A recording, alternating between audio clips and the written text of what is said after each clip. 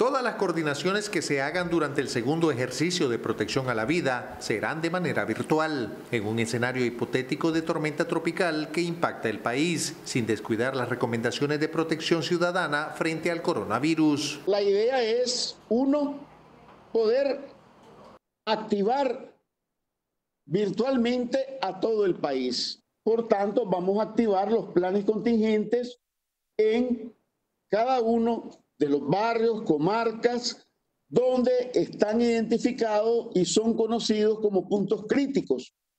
Pero también aquellas instalaciones, especialmente de carácter social, escuelas, iglesias, mercados, que puedan verse afectados por la tormenta tropical, el efecto de la lluvia.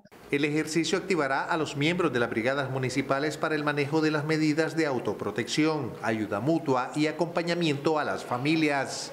De tal manera que en este ejercicio vamos a trabajar con las probabilidades de afectación que pueda sufrir, por ejemplo, un barrio que está en zona baja, que sufre el efecto de la llegada de fuertes escorrentías que pueden provocar inundaciones.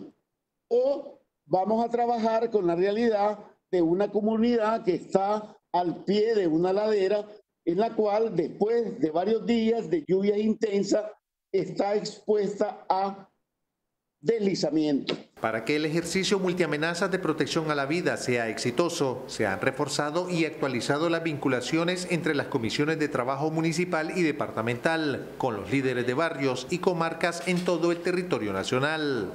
Para TV Noticias, Román Rodríguez.